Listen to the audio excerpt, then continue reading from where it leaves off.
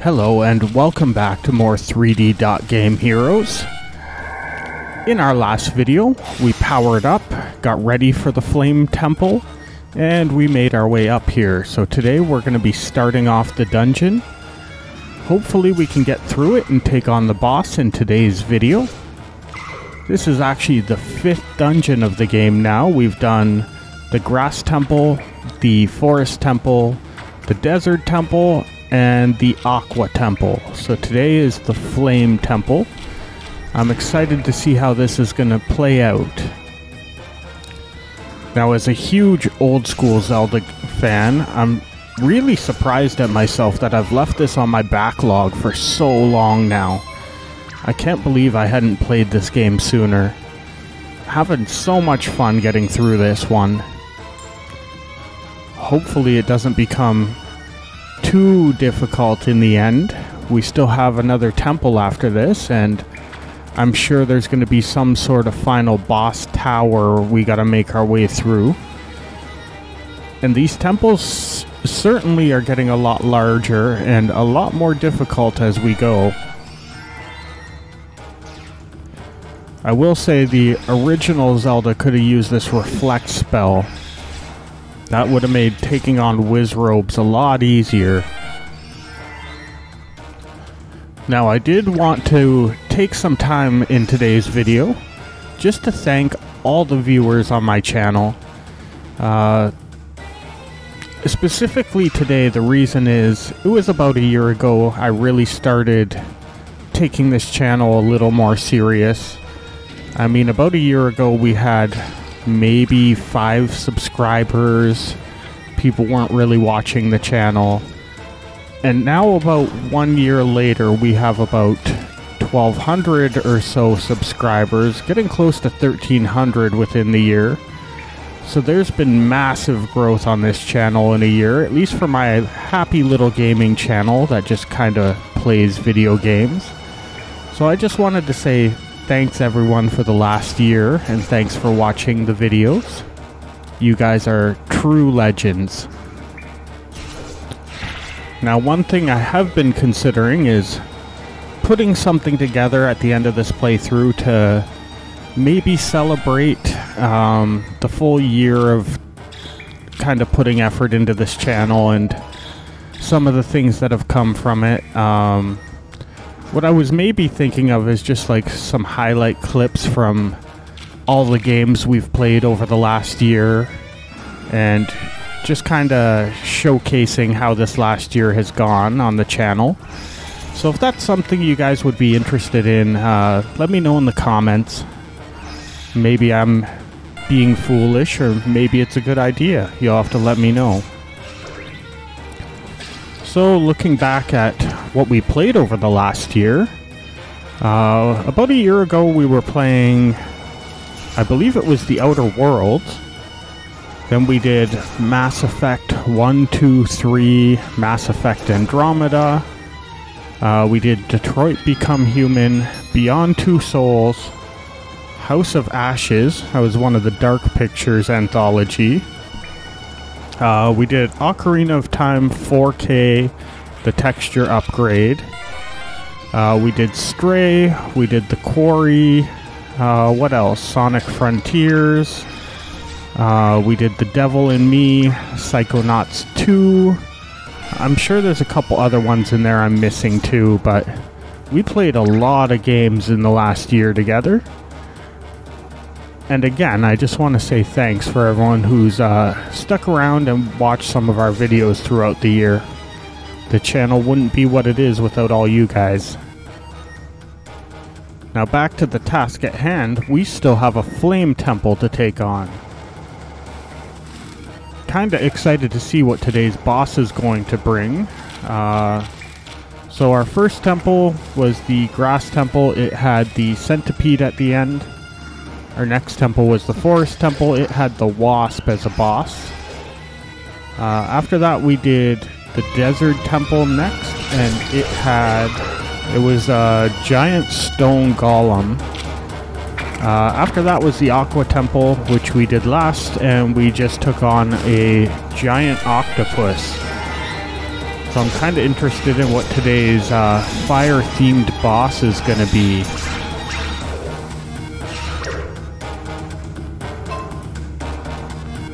Temple is massive. There's three floors of it, too. Trying to get my bearings and see where we need to be going at this point.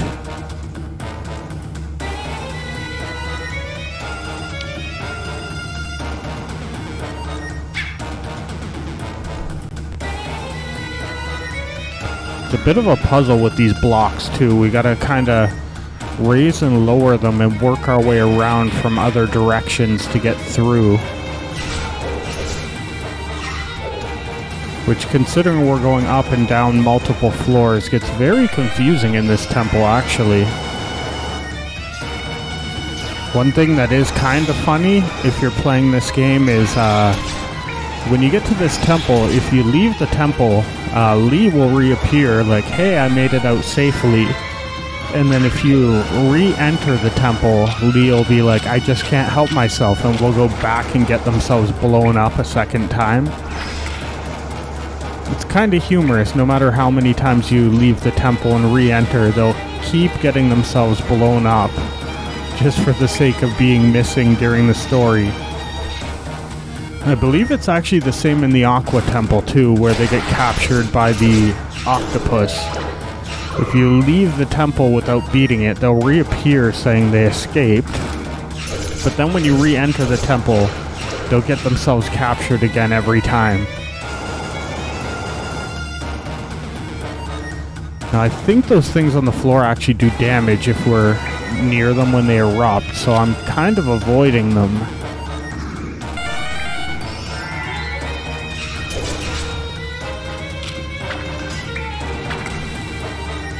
Seems like we need our reflect spell in almost every room of this dungeon.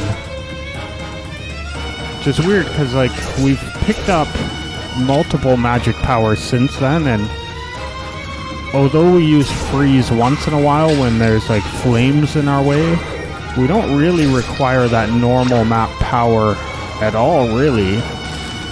We seem to fall back on reflect more than anything. Parallax helps with the occasional puzzle, but we don't need it very often.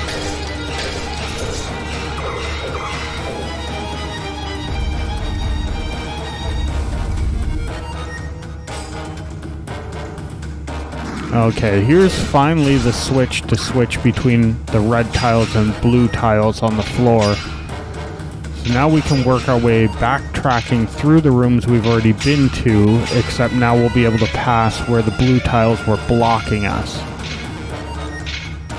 This is kind of like the big puzzle of this temple, is being able to work between the floors and switch the uh, tiles that are in the way.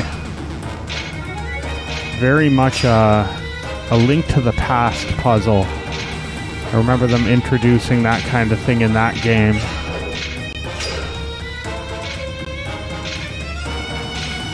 These guys are kind of like this game's version of the Dark Nuts, where they can uh, only been, be hit from behind.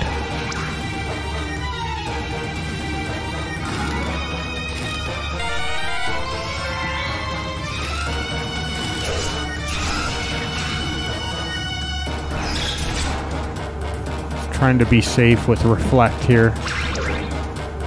We really are a lot weaker the minute our sword isn't fully powered up Just doesn't have the reach or do the same damage.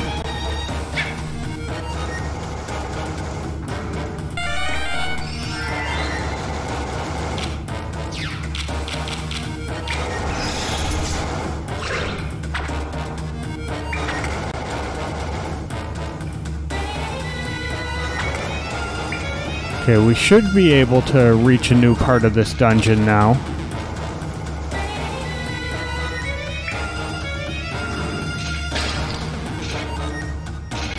I think these blue tiles were actually blocking us from entering this direction earlier.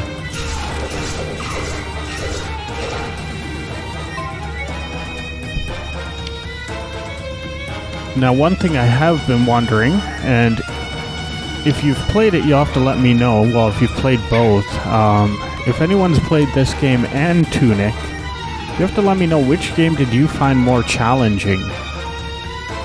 I know I'm gonna eventually end up playing Tunic, so when I do, I'll announce my results, what I thought was tougher. But I always hear that game's like uh, kind of a very challenging top-down Zelda-like game, so it seems much different from this one, but they're both kind of top-down Zelda-like games, and they're both very challenging, so I kind of compare the two a lot. Okay, seems like we need to go up and to the left. But we need to find a key somewhere. We also need to uh, somehow shut down those red blocks now so we can get to this treasure chest.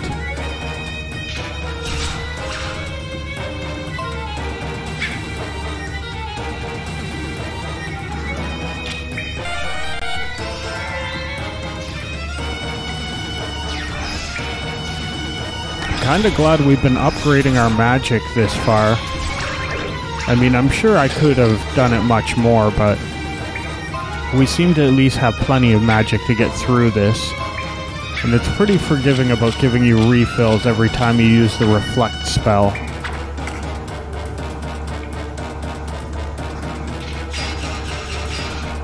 Oh, this guy's gonna be tough to deal with. Do we need to go downstairs to turn off those red blocks?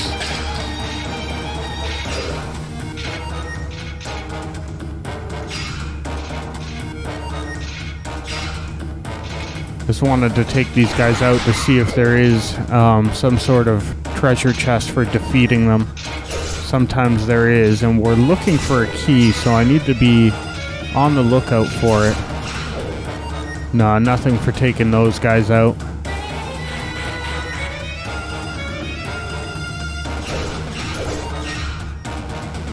Okay, now that we're down a floor, let's try and find a switch to turn on the red blocks and go back up. We also haven't been uh, to the left and up to the north from here. But we do have the floor switch here to turn on those um, turn on the turn off the red block so we can get to that puzzle.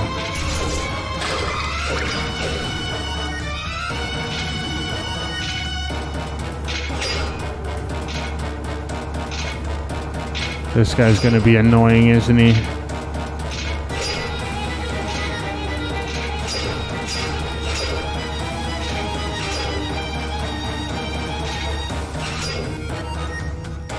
Yeah, I just really don't want to take damage this late in the, the dungeon. Mind you, if we do get towards the boss, uh, we can turn on that warp back to the start of the dungeon I might actually go and get some like potion refills and upgrades and things and get ready for the boss properly. The last boss was a lot tougher than some of the ones we've seen. They've been getting progressively harder. The stone golem and the uh, octopus were some tough challenges.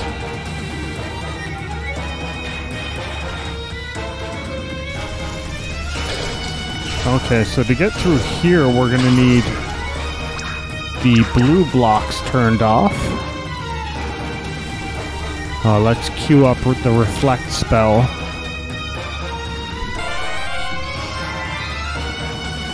I'm really hoping this chest will have our key in it.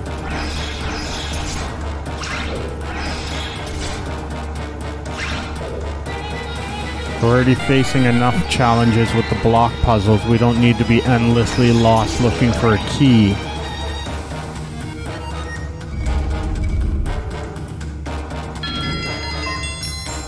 A red key? Huh. Not sure if that's what we're looking for, but we'll take it.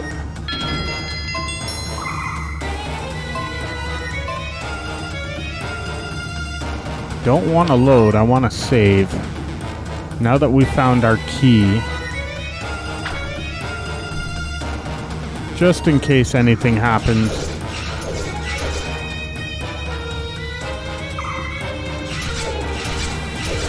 last thing I want is to make it this far into a dungeon and have the game freeze or something.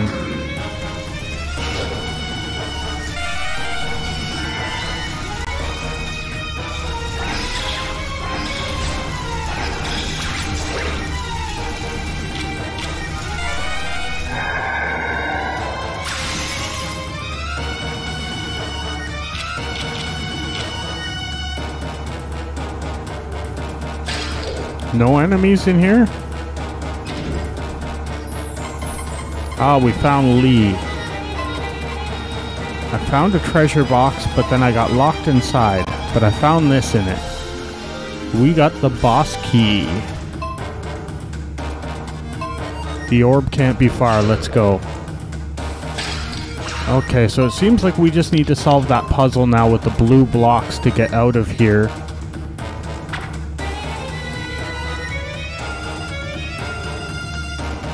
So if we can lower those blue blocks, we can get past them to the boss area, and we now have the key to get in there. We haven't found the dungeon item, however. I hope I don't need it to take on the boss.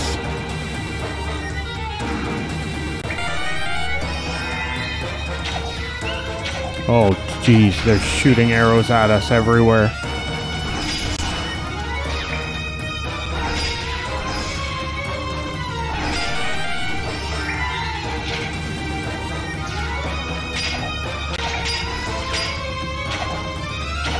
This room is miserable. Oh, we got a second key. That'll be helpful. Let's get out of here. We're actually looking for a floor switch, not a second key, but we'll take it.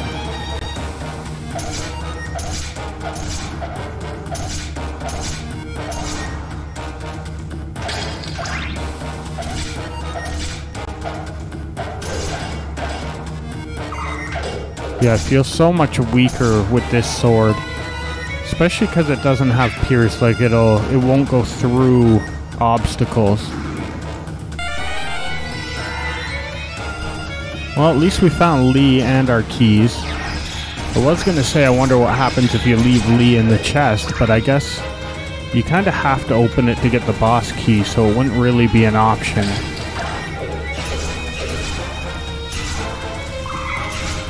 Okay, so now we just need a floor switch to turn off these blue blocks.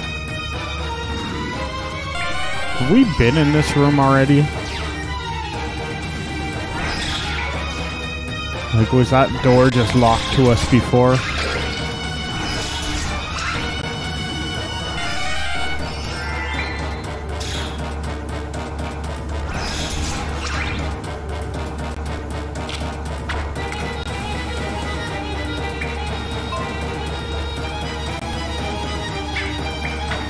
If we go this way, I think we can go down the stairs and um, turn on the floor switch that way.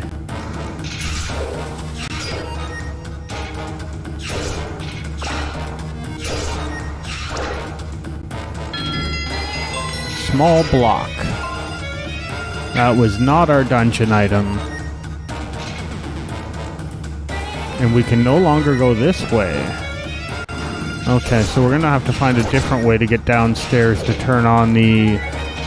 turn off the blue blocks.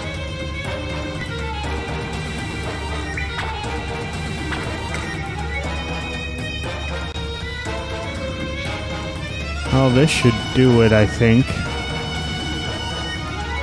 Of course, once they're uh, turned off, we might have to loop our way around a different direction to get back up here. It seems like we're kind of in the ending stages of this dungeon now, at least. Oh, we can go downstairs from here, too.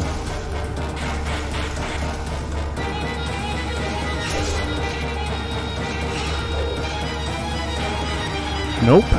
Not gonna get hit by that guy this late in the dungeon. At least he's on the other side of the wall now.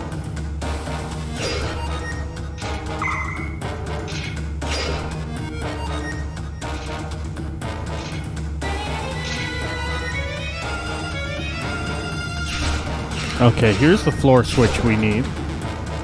But we won't be able to come back the way we came in, so we're gonna have to loop our way around and go up the stairs to our right, I believe.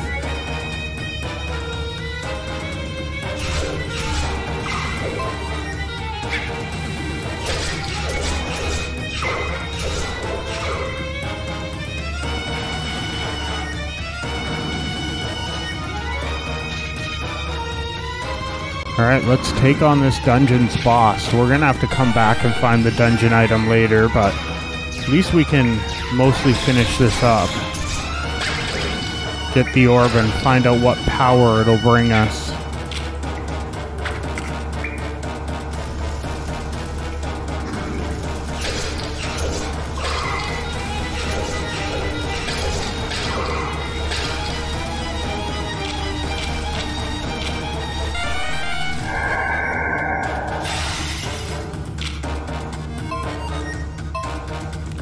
Alright, now that we're at the boss, let's save.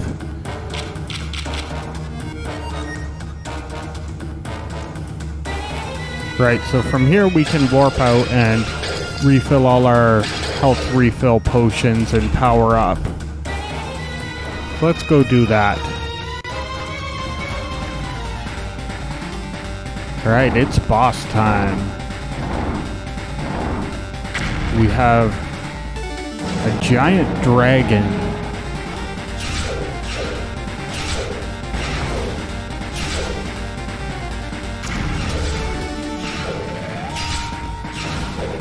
Okay, this doesn't seem too bad as long as we can keep the power on our sword up.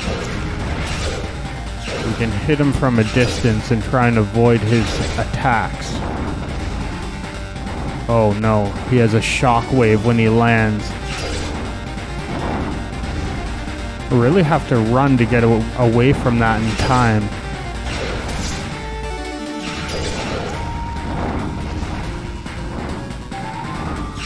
Okay, this is going to be tougher than it looks.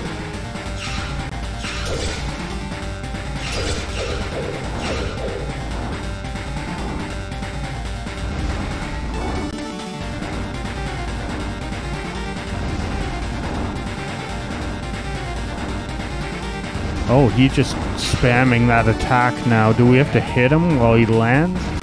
It's going to be tough because we also have to avoid that shockwave, and he doesn't stay down very long. Maybe if we use a bomb.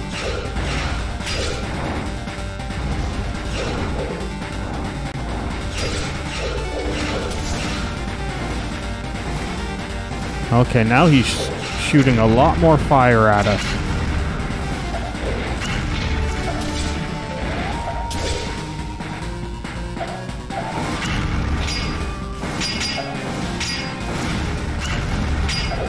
Also hard to tell if hitting his head or hitting his chest is more effective at damaging him. We're for sure to need our health potions here.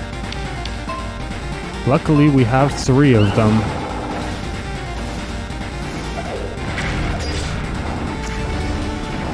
Was kind of hoping to use our upgraded sword, but the minute I took our health potion we also took damage.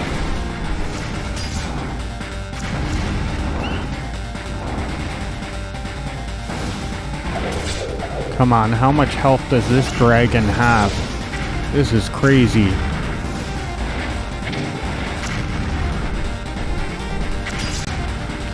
Okay, so bombs do damage him. We've learned that at least.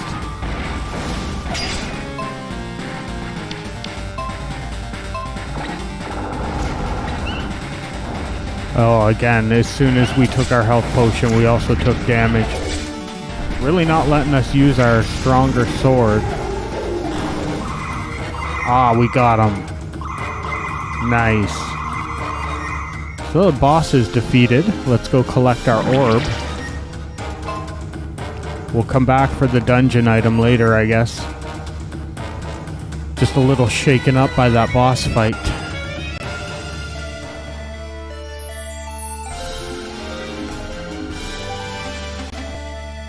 Got the red orb.